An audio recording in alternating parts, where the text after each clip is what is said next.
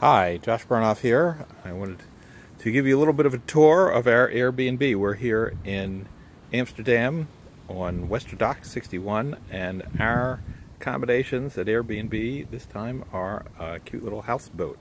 So let me first give you an idea of what the neighborhood looks like. You can look around here. We are on a canal, of course. And you can see there's boats across the way and a whole series of boats here lined up along Westerdok. Uh, and this is the outside of ours. You can see the skylights. You'll see it's very well lit and interesting. So to get inside, you go on this little staircase and then this hatch will lead you down into our Airbnb. So let's get a look.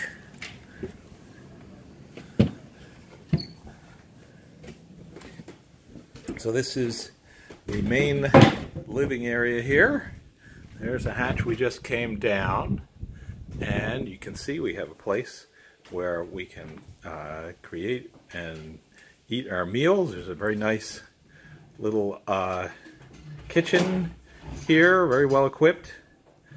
And also in this space, there is a little living room area where you can just hang out and work. Of course, it comes with electricity, Wi-Fi, plumbing, all of the, the comforts of home. Uh, now let's get a look at the bedroom. We go in here. It's a surprisingly large bathroom space for living on a boat.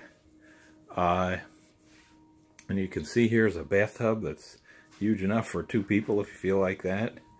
And now I'm going to show you our bedroom, main bedroom in here. It's a little tight in here, but there's enough space for you to put all of your stuff.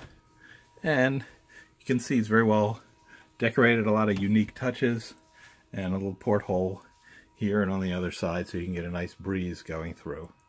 Um, tended to be cool in the evenings here. So this can accommodate more than one couple at a time. So let me take you into the other part of the space. Okay, so to get into the bow of the boat, I guess it's actually the stern, you have to go up this tiny little staircase. Ooh.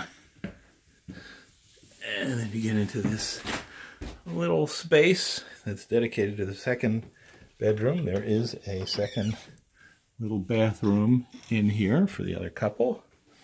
Let's get a look at their bedroom, which is cozy, to say the least. So, here's where you sleep if you're second couple, you can see. And there's a another little space in here that's sort of cool. We go up here. This is a space where you can just hang out in the morning, have yourself a little bit of coffee, look over the whole boat, and of course, we've got, in addition to coffee, a steering wheel so we can figure out where we're going. And the owners have told me that they do take this boat out from time to time. It mostly just sits here. So, a little tight, but very comfortable and a whole lot of fun. And as you can see, decorated in a way that demonstrates just how much love they have for their boat. So I hope you enjoyed that.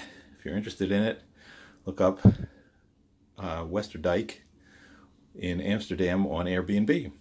Thanks.